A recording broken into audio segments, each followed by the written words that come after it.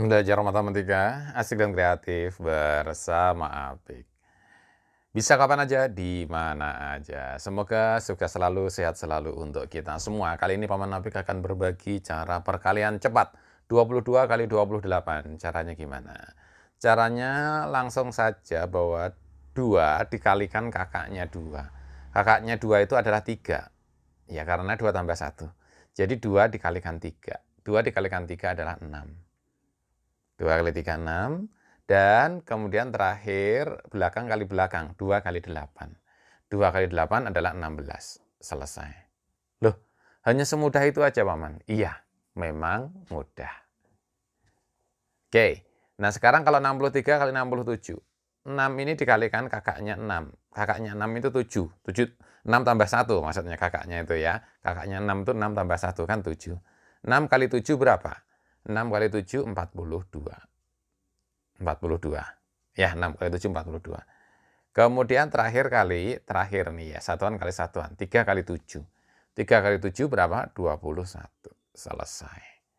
Wow, gampang banget dong. Belajar matematika asik dan kreatif bersama Apik. Kok bisa begitu, Paman? Iya, memang bisa.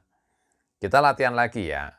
Syaratnya apa? Nah, ini misalkan Paman Nabi kasih contoh ya, 34 kali 36. Berapa hasilnya? Hmm. Ini syaratnya adalah 72 kali 78. Syaratnya adalah puluhannya sama dan satuannya jumlahnya 10. Ya.